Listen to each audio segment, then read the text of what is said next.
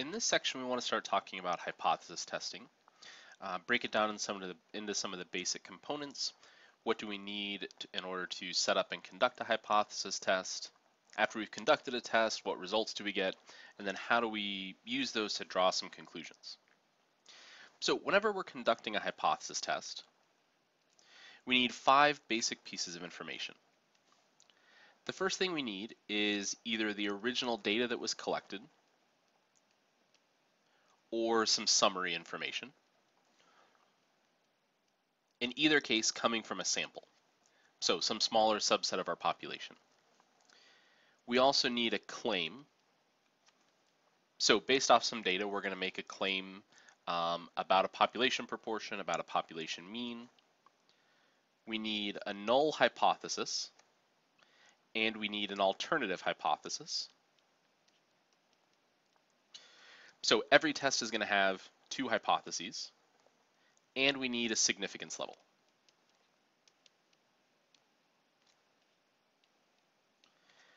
So some of these things are fairly straightforward. Um, we need data from our sample. We need a claim that'll make more sense once we start seeing our data. But let's talk a little bit about what we mean by these hypotheses and our significance level. So the first hypothesis, the null hypothesis, is always going to be a statement of exact equality about our given parameter. So the null hypothesis is expressed as h with a subscript 0, so h sub 0.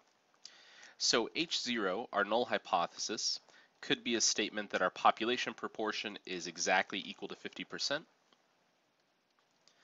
if we were testing a claim about a mean, it might be a claim that mu is exactly equal to 52 or some other value. Or if we were testing a claim about a median, HO, or H naught could be a statement that the median, population median M, is exactly equal to 5.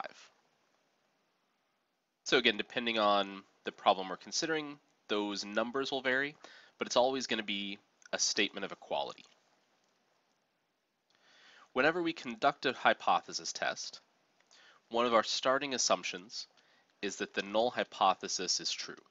So we're always assuming that H0 or H0 is a true statement.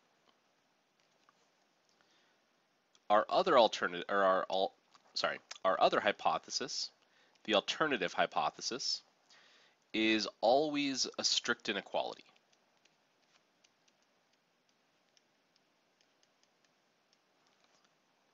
So our null hypothesis always had an equal sign.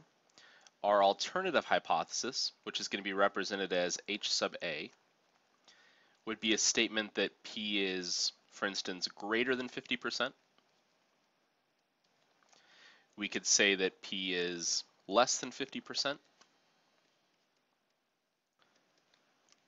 Or that our population proportion is simply not equal to 50%.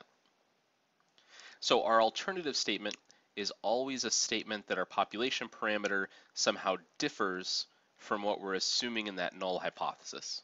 So either greater than, less than, or just not equal to.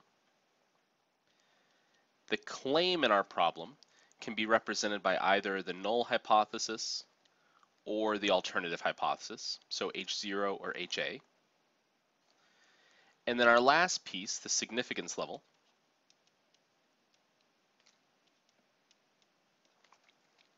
which we're going to represent with the Greek letter alpha.